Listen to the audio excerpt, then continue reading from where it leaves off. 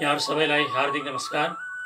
सधैँ चाहिँ आज पनि महाभारतमा के छ नामक श्रृङ्खलामा यहाँहरूलाई हार्दिक स्वागत छ।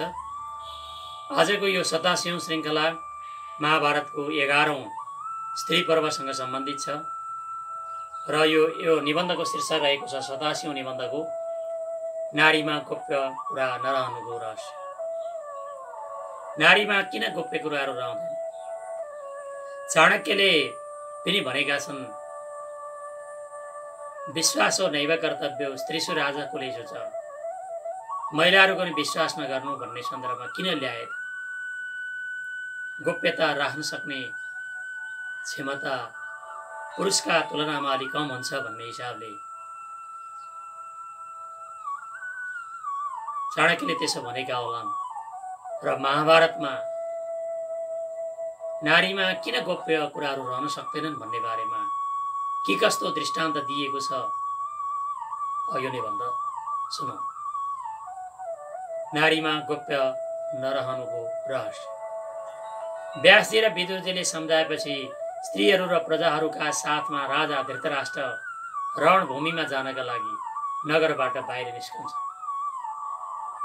त्यस क्रममा नारीहरू आफ्ना सुन्दर केसहरू फैलाउँदै सारा गरगनाहरू उतारेर एउटा मात्र वस्त्र धारण गरी अनाथ जस्तै भएर रणभूमितर्फ गइरहेका थिए। त्यस साथै उनीहरू अत्यन्त उच्च स्वरमा रुन लागे धृतराष्ट्रसँग कृपाचार्य अश्वत्थामा र कृतवर्माको भेट हुन्छ भने कृपाचार्यले कौरव पाण्डव सेनाको विनाशको सूचना धृतराष्ट्रलाई दिन्छ।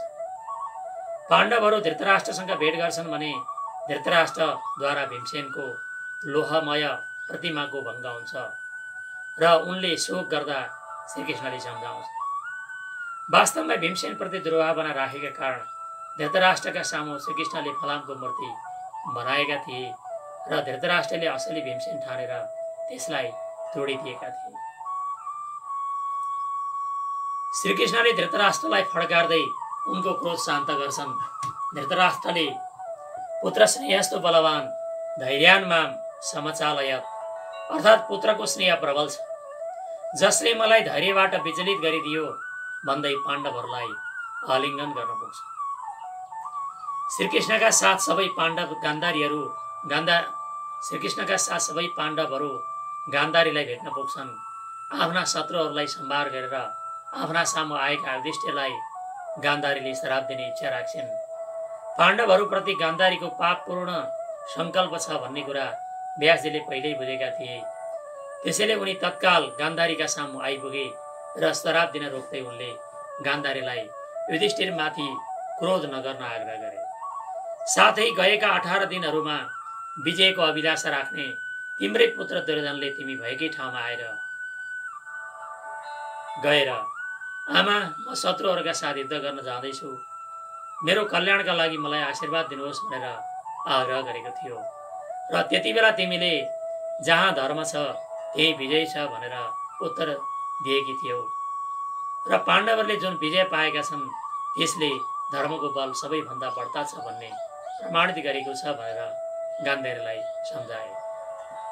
त्यसपछि गान्धारीले दुर्योधन दुर्योधना अपराधेन सकुने सौबलस्य च कर्ण दुशासनाभ्याम च कृतोयम कुरु संक्षय अर्थात् कुरुकुलको हो यो सम्भार त दुर्योधन मेरो भाइ सकुन सकुनी कर्ण र दुशासनको अपराधद्वारा भएको।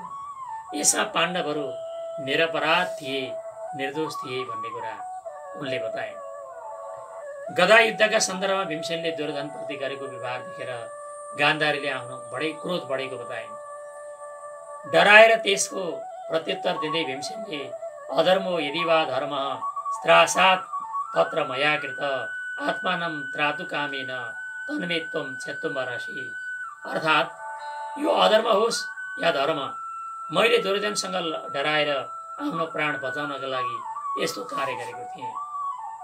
आत्मानम सततम रक्षित आफ्नो प्राण सयौँ गुणा चाहिँ काम छाडेर आफ्नो प्राण रक्षा गर्नुपर्छ भन्ने नीतिको वचन दिन्छ त्यसै कारणले हजुरले मेरो त्यस अपराधलाई क्षमा दिनुहोस् भने। गान्धारीले हामी दुवै वृद्ध भयौँ। हाम्रो राज्य पनि तिमीहरूले जित्यौ यस अवस्थामा हाम्रो एउटै सन्तति जो हामी दुवै अन्धाको लट्टीको सहारा थियो त्यसलाई किन जीवित राखेनौ? भन्दै युधिष्ठिर कहाँ कहाँ छन् भनेर प्रश्न गरे। युधिष्ठिर डराउँदै डराउँदै गान्धारीका नजिक आइपुगे र अपराधी भएकाले आफूलाई श्राप दिन आग्रह गरे। आफू स्वैरधरको द्रोही र अविवेकी भएकाले आफू अब आफूलाई जीवन राज्य र धनसँग कुनै प्रयोजन छैन भनेर युधिष्ठिरले गान्धारीका चरणमा शिर झुकाए र भने गान्धारीले त्यति बेला आँखामा लगाएको पट्टीको भित्रबाट युधिष्ठिरका नङ हेर्दा नङहरू काला भए आफ्ना दुवै दाजुहरूप्रति क्रुद्ध बनेकी गान्धारीलाई देखेर अर्जुन डरले यताउता लुक्न थाले उनी यसरी लुक्न लागेको देखेर गान्धारीको क्रोध बढ्दै शान्त भयो र उनले सबै पाण्डवलाई स्नेहमयी माताका समान सान्त्वना दिए। त्यसपछि उनीहरू द्रौपदी भएका ठाउँमा पुगे। त्यति बेला द्रौपदीले किम्नु राज्य नभई कार्यम विहीन आया सुदैवमा अर्थात् आफ्ना पुत्रहरूले विहीन भएर अब यस राज्यबाट मलाई के काम? भनेर प्रश्न गरिन् भने गान्धारीले ममैव हेपराधीन कुल कुलमग्र्यम विनाशितम अर्थात् मेरै अपराधले यस श्रेष्ठ कुलको विनाश भएको हो भनेर आत्मालोचना गर्दै शोक नगर्न आग्रह गरे। वेदव्यासीको वरदानद्वारा दिव्य दृष्टि प्राप्त गरेकी गान्धारीले युद्धस्थलमा मारिएका दुर्धन लगायतका युद्धहरू तथा रुँदै गरेका बुहारीलाई बुहारीहरूलाई देखेर श्रीकृष्णका नजिक विलाप गर्छन्। एकातिर रोएका स्त्रीहरूको आवाज आइरहेको थियो भने अर्कातिर हिंस्रक जन्तुहरूको गर्जन गर्जन सुनिरहेको थियो। यसरी अनेकौँ वीरहरूको सम्भार भएको देखेर गान्धारीले शोकातुर भई विलाप गर्नका साथै क्रोधपूर्वक श्रीकृष्णलाई तिमीले यिनलाई नष्ट हुँदै गरेको देखेर किन यिनको उपेक्षा गर्यो?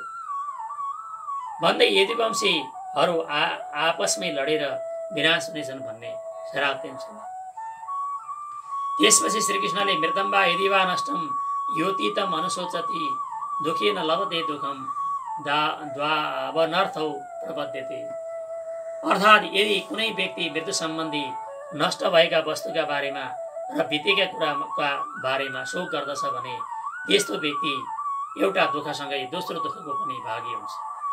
र त्यसरी त्यसले दुवै अनर्थलाई प्राप्त गरेर गर्दछ भनेर सम्झाउँछ।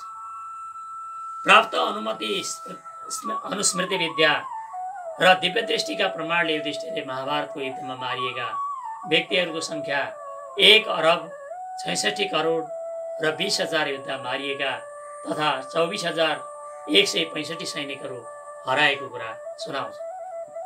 लोमस ऋषिले दिएको अनुस्मृति विद्याका आधारमा र पूर्वकालको ज्ञानयोगका प्रभावले पनि युधिष्ठिर यस्तो जानकारी दिन समर्थ भएका हुन्। युद्धका क्रममा उत्साह साथ लड्ने इन्द्रलोक अप्रसन्न मनले लड्ने गन्धर्वलोक युद्धबाट विमुख हुने गुह्यक लोक र निरन्तर शत्रुको सामा सामना गरिरहने ब्रह्मलोक पुगे। युधिष्ठिरकै आज्ञाले सबैको दाह संस्कार गरिन्छ। सबै स्त्री पुरुषहरूले मरेका आफ्ना पति व्यक्तिहरूलाई जलाञ्जली दिन्छन्। कुन्तीले आफ्नो गर्भबाट कन्यावस्थामै कर्णको जन्म भएको रहस्य प्रकट गर्छिन्। आमाका मुखबाट यस्तो अप्रिय वचन सुनेर सम्पूर्ण पाण्डव खण्डका लागि कर्णका लागि बारम्बार शोक प्रकट गर्छन्। त्यसपछि युधिष्ठिरले आमा कुन्ती समक्ष दुःख प्रकट गर्दछन्।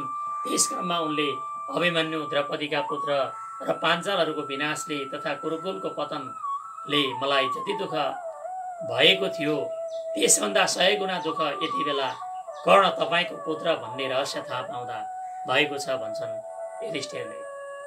त्यति मात्र होइन यति बेला आफू कर्णको शोकमा डुब्नाले कुनै आगाले नजलाउने जस्तो भएको पहिले थाहा पाए पाएको भए कर्णलाई पाएर यस जगतमा। कुनै स्वर्गीय वस्तु अलभ्य नहुने र कुरुकुलको अन्त गर्ने यस किसिमको महाभारतको युद्ध पनि हुने थिएन होला भन्ने कुरा व्यक्त गर्दछन्। उनी यसरी उनी बारम्बार रुन्छन् र कर्णलाई रुँदै जलाञ्जली दिन्छन्।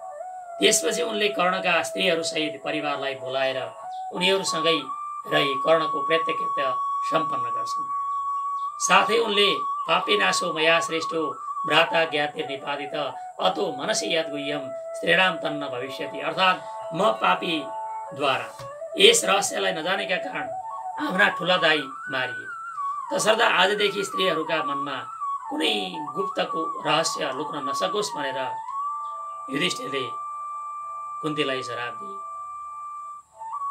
यही रहस्यमय रहस्यलाई आधार बनाएर होला नीतिकार चाणक्यले समेत चाणक्य नीति दर्पणमा स्त्रीहरूको विश्वास गर्नु हुँदैन भनेर उद्घोष गरेको पाइन्छ। निश्चय नै कुन्तीले कन्यावस्थामै आफ्नो पहिलो पुत्रका रूपमा कर्णलाई जन्म दिएकी थिइन् र विवाह पूर्व नै जन्मिएका कारण कर्णका बारेमा यथार्थ प्रकट गर्न उनी लजाएकी थिइन्। यौन स्वतन्त्रता र यौन व्यविचार बढ्दै गइरहेको वर्तमान परिवेशमा कर्ण जस्ता कानुनहरूलाई जन्म दिने पुत्र कुन्तीहरूले आफूलाई कन्यावस्थामै आमा ठान्ने गौरव गौरवबोध गरेका छन्। र यसरी नारी अधिकारकै रूपमा लिन पनि थालिएको छ यसलाई। तथापि हाम्रो जस्तो हिन्दू धर्म र संस्कृतिको बाहुल्य भएका देशमा कन्या अवस्थामै आमा बन्न पाउने अधिकारलाई कानुनमा भित्र्याउन खोजेमा त्यसका दीर्घकालीन नकारात्मक असरहरू पर्दै पर्दै जान सक्ने सम्भावनाहरूप्रति सबैको को यथासमयमै ध्यान जानु र सबै सचेत हुनु अत्यन्त आवश्यक देखिन्छ। यो महाभारतको एघारौँ स्त्री पर्वसँग सम्बन्धित यो नारीहरूमा गोप्य नरहनुको रहस्य नामक यो शीर्षकको निबन्धको विषयवस्तु यति नै रह्यो। यो सुनेर यहाँहरूको मनमा लागेका जिज्ञासाहरू यदि छन् तिनलाई कमेन्ट बक्समा कमेन्ट गरिदिनु हुन हार्दिक अनुरोध गर्दै यहाँहरूसँग आजलाई बिदा चाहन्छु धन्यवाद। नमस्कार।